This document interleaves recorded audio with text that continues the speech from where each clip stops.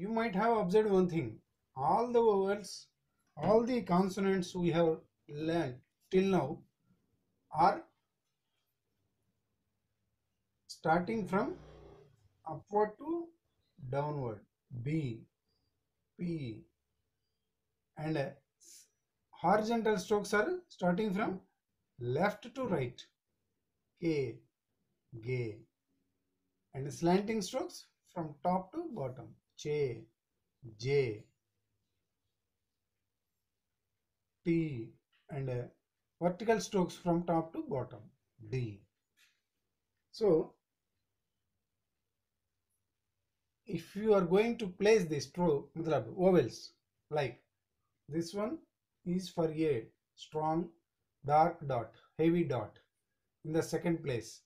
This if this is p then it is pay p a y pay this is b. So placing it here. Bay b a y bay and placing before it k. Ek. And placing after the g o. Go. The same way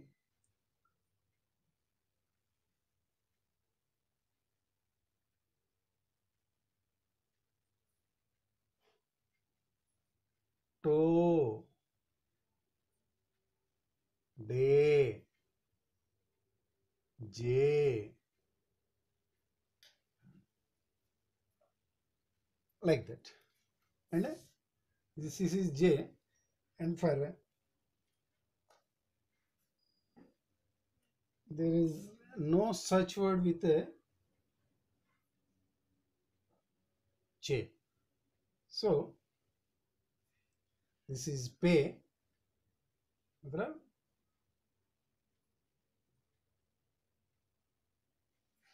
dash. See? Pay bay ek. Here the vowel follows. Suppose how if it precedes p? A p e. Pay ek. So in the same way ek second place a this one.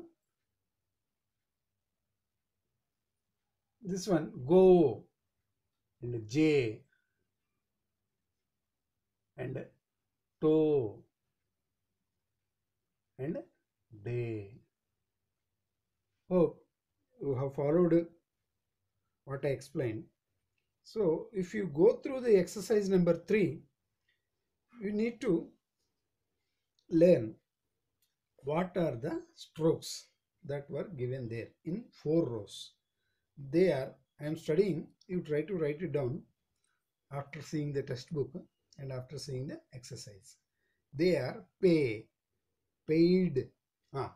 Now only single strokes i have explained but while joining two strokes. Pay pd paid. This has to end here. Actually pay d. Paid. Okay. The same way p j. Page p lightly and che poach okay and in the same way j k joke b g big name. B d bed. Yeah you can say board. In the same way b t bait.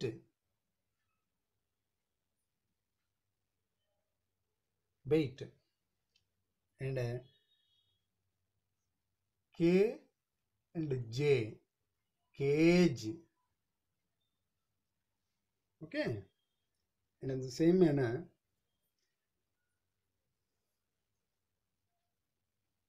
G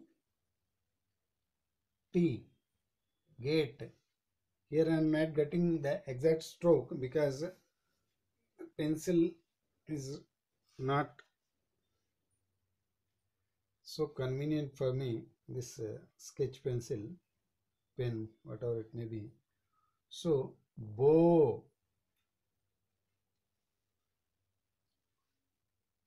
T and D. Toad. And B and T boat like that. In the exercise number 3 many such words are given. You have to practice them by writing each single word first word. You write word first pay.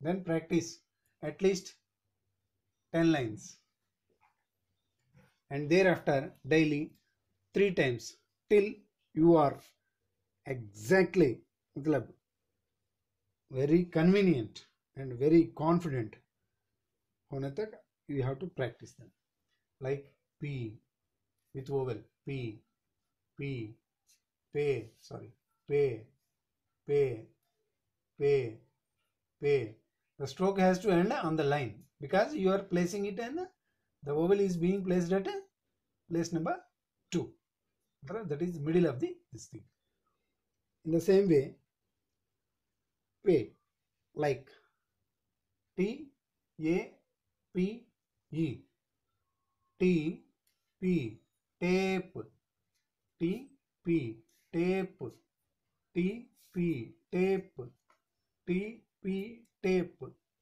t p tape at least 10 lines each word you have to practice. And thereafter you need to practice at least one line each day till you are confident that I have learned this word.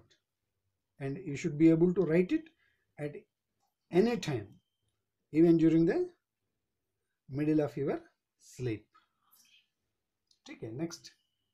G A T E gate.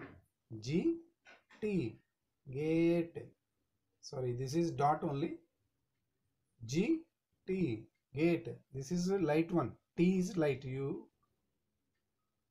G T gate. Next. G T goat. G T goat. G T goat it is very straight line. It's not that I am uh, writing matlab uh, very in a slight slanting manner that does not mean it is right. So just like straight line straight line. It is not coming exactly so you need to practice it. In the same way joe. Joe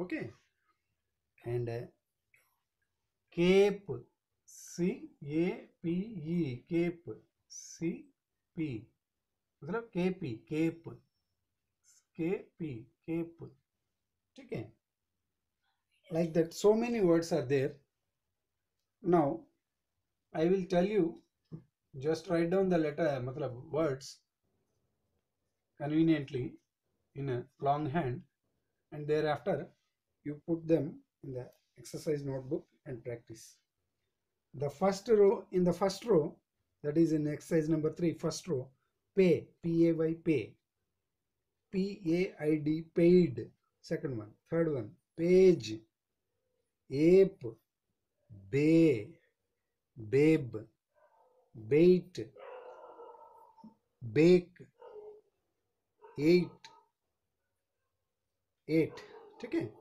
In the second row tape take aid a i d aid day day date and dado what is the meaning of dado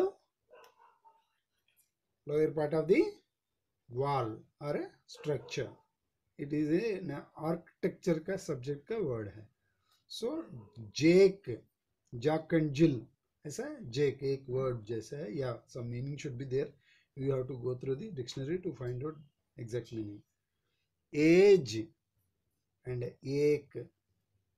के ये भाई के third wrong cake cape cage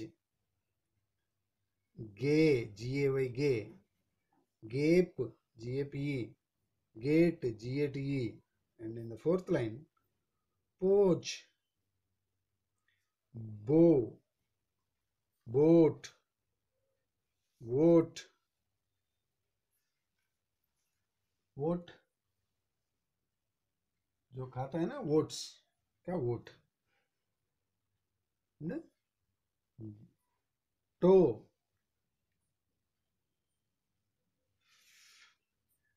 Toad.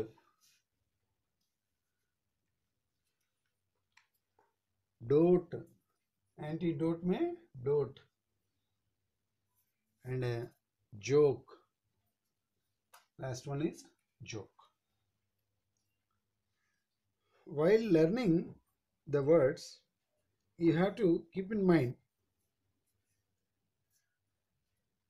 the first downstrokes must respect must rest on the line.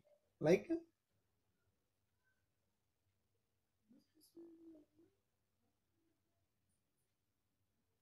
J K. So this is the line. This is K. Joke. This downstroke. Downstroke first downstroke is resting on the line. Joke. Okay like that. And uh, this is called position writing. So once you are clear then I will proceed to the next thing. That is in shorthand in shorthand when a sentence is complete small cross is placed after the sentence. I am going to school. Stop. It has no meaning in shorthand, but except this pause, long pause, that is full stop. Chicken. And uh, for paragraph,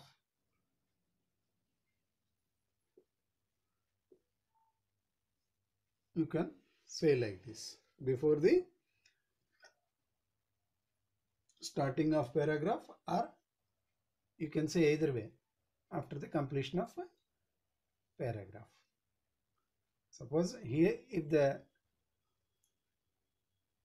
para ends at I am going to school if the paragraph ends here and the sentence also ends here this is placed here and thereafter it is placed like this.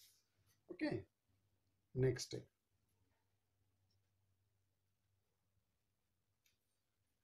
and uh, whenever a name is written in shorthand whenever a name is written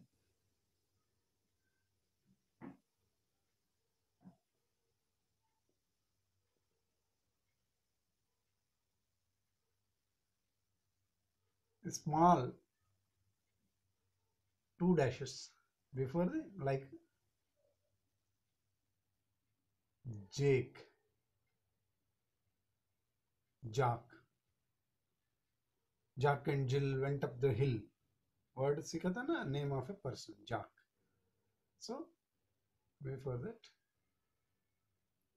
you can place two small strokes so that you, you can easily decipher that it is a name okay?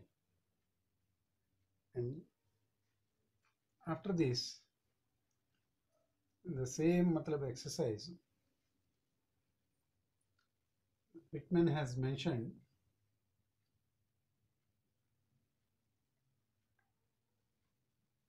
that frequently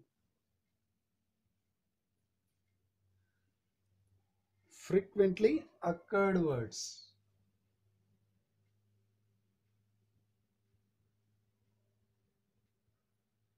Are expressed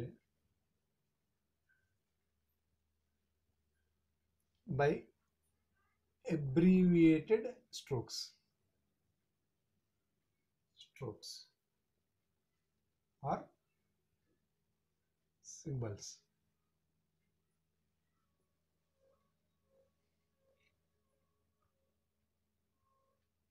and it is called grammalogues